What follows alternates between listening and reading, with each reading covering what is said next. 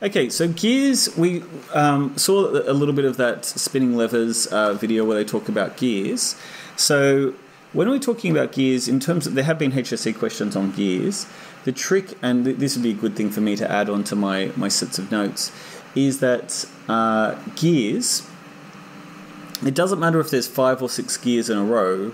What we need to do is if we just count the, the if we count the number of teeth at the end gear and the number of teeth in the first gear, and we compare that, that will give us um, our mechanical advantage. So if we compare the gears at the end and the gears at the, the start, with the gears in the middle, we don't need to worry about. But there are, um, when we do chain drives or belt drives, there are some tricks that you can get where sometimes a belt drive, a big belt drive, can be attached to a small belt drive. And that's a way you can use multiple belt drives to increase your, your um, mechanical advantage. You can add more and more and more belt drives to um, by having a big one attached to a small one allows you to continue to increase your efficiency. Um, that there are three classes of levers. So we don't cover this in the textbook until we get to chapter four, but it's worth talking about now that there's three classes or three orders of levers.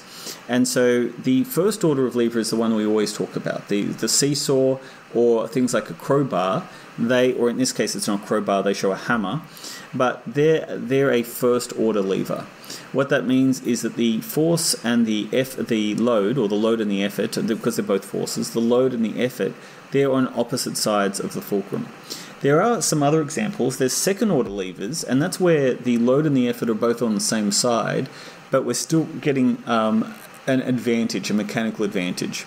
So, in the example of the wheelbarrow, I always like to think of wheelbarrows if it's carrying a whole bunch of number twos right? If you're using manure to fertilize a lawn, right? Manure number two, second order lever, yeah.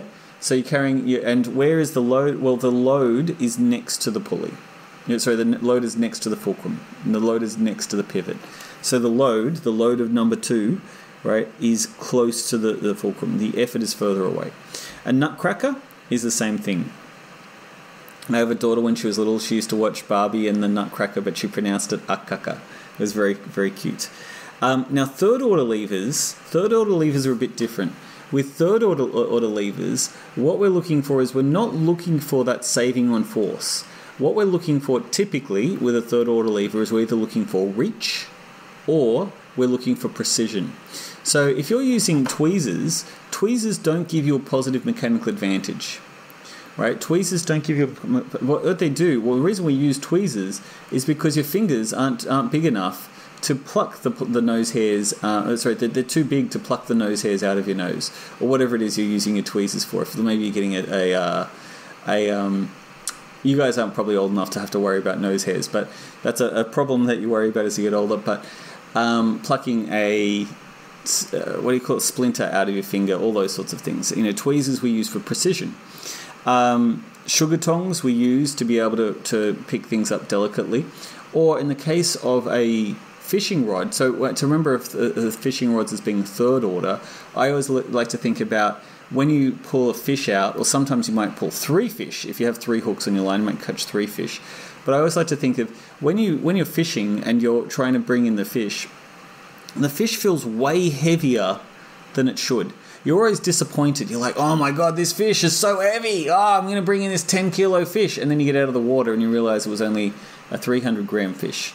And the reason for that is because we, we don't we don't get positive mechanical advantage. We get a mechanical mechanical advantage less than one, often with a with a fishing rod. And the reason why we use a fishing rod is because it helps us to cast out the line a long way. It stops us from getting snagged on the jetty or on the rocks wherever you're fishing so or in the boat or whatever it is. So the reason why we use a fishing rod is not so that it helps us to bring the fish in. It actually makes it harder to bring up the fish.